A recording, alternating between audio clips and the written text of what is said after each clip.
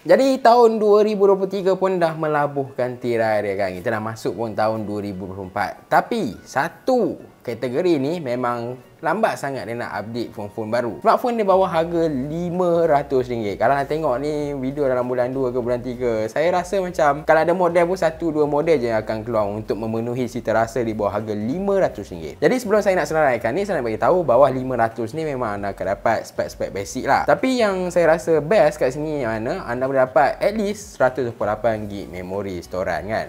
Bagus apa? Tapi itulah dengan harga macam ni anda akan dapat macam storan jenis eMMC 5.1 macam tu lah kan. Dia tak laju macam tu je. Just untuk basic use, untuk keluarga dekat kampung ke apa, okey lah nak guna yang ini. Jadi jom saya senaraikan. Peranti pertama yang saya rasa menarik iaitu Vivo Y16. Smartphone ni hadir dengan 4GB RAM 128GB untuk storan, 5000 mAh bateri dan juga kita ada side fingerprint scanner. Dia ada tawaran-tawaran lah. Last saya tengok harga dia paling rendah 400 449 Tapi kalau tak ada promosi mungkin dalam 479 macam itulah lingkungan harga dia. Hadir dengan 5000 mAh bateri, dia ada dual kamera dekat bahagian belakang dan bagi saya design pun not bad juga. Tapi anda rasa macam tak minat, anda minat satu smartphone yang baru, fresh lagi keluar kan. Kita ada Redmi 13C. Smartphone ni hadir dengan 6GB RAM 128GB untuk storage dengan screen jenis IPS 90Hz 6.74 inci. Yang menarik dia untuk harga bawah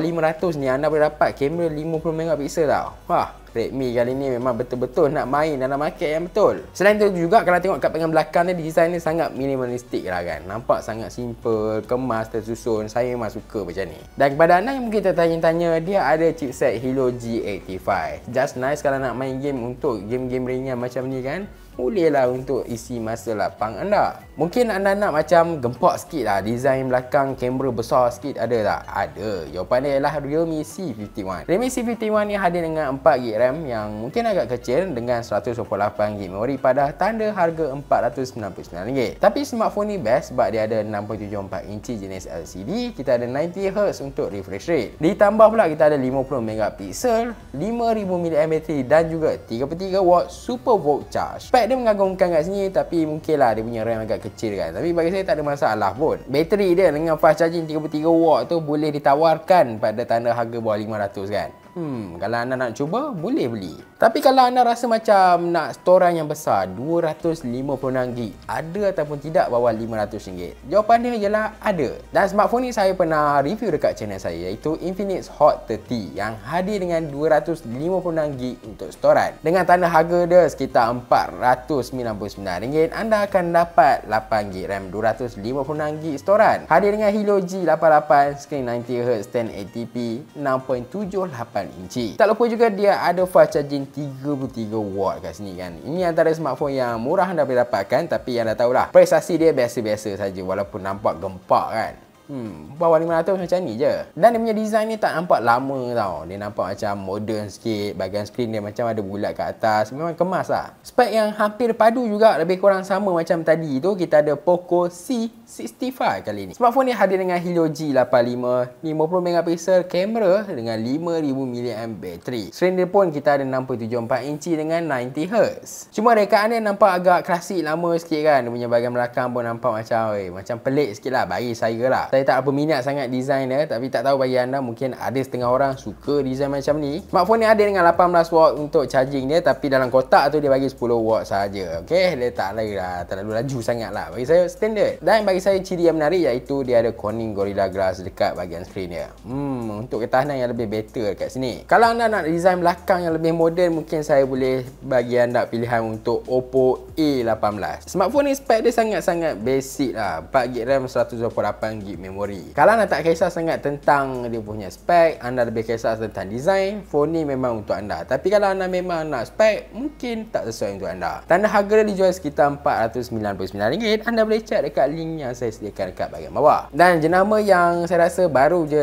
launch dekat Malaysia ni, okey. Tak adalah baru sangat sebab ujung-ujung tahun ni tak dengar pun cerita dia. Awal-awal tahun lepas memang famous lah kan tahun 2023 iaitu Freon. Freon M5 ni hadir dengan 8GB RAM 128GB memori. Skrin bersaiz 6.52 inci, bateri 5000 mAh dan juga 18W untuk fast charging. Rekaan dia bagi saya memang nampak agak lama lah kan. Hmm, Tapi tak tahu dekat anda kalau mungkin anda suka dari segi spek dia lah. Sebab phone ni tak terlalu besar sangat nampak kan. Saiz dia biasa saja kat sini dan memang selesa nak pegang. Cumanya anda nak test dekat kedai tu macam tak banyak sangat jenama ni kan. Yalah dia baru lagi kat Malaysia. Beralih untuk kategori terakhir kita iaitu di bawah harga RM400. RM400 pun sebenarnya anda boleh dapatkan memori yang besar, storage yang besar iaitu 128GB. Saya ada tiga pilihan untuk anda. Antaranya kita ada Infinix Hot 30i. Smartphone ni hadir dengan 4GB RAM 128GB memori, hadir dengan 90Hz refresh rate untuk skrin 6.6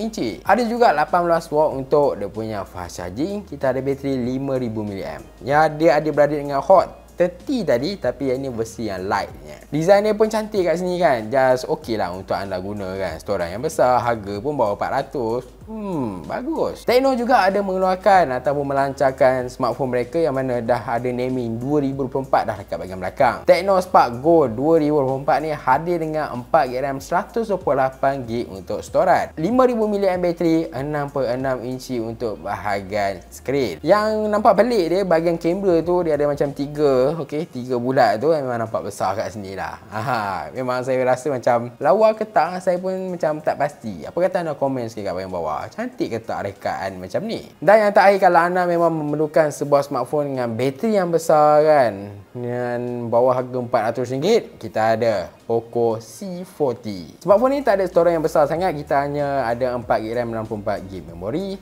dia punya skrin 6.71 inci. Dekat anda memang nampak agak lama kan kat sini tapi bateri dia yang besar tu lah kalau anda memang nakkan ketahanan bateri yang lebih lama. Harga dia pun bawah RM400 kan boleh lah untuk guna mungkin nak buat food panda ke apa kan tapi itulah lama-lama mungkin akan rasa laggy sikit. Jadi itu antara listing saya smartphone antara yang terbaik bawah RM500 dan juga RM400. Mesti anda tahu bawah harga macam ni memang kalau nak pakai untuk long term 2 ke 3 tahun memang akan rasa laggy lah kan sebab sebab dia bukan pakai UFS pun untuk storan dia. Jadi itu benda yang anda perlu expect kat sini kan. Kalau nak guna untuk ringan-ringan media sosial yang biasa-biasa yang sangat-sangat ringan kat sini, bukan sesuatu yang berat macam anda nak guna buat main game ke apa, saya boleh recommend untuk harga ni. Kalau anda nak benda yang lebih berat, saya rasa bajet RM500 ke atas tu anda boleh dapat sebuah smartphone yang lebih powerful. Nak tahu smartphone apa yang menarik tu, anda kena tonton video review ataupun video listing saya yang sebelum-sebelum ni. Jadi pendapat anda, anda rasa macam ada smartphone lain ataupun mungkin mungkin anda nak cadangkan smartphone second hand apa kata anda? Tinggalkan komen kat bahagian bawah dan macam biasa jumpa like subscribe share. Terima kasih.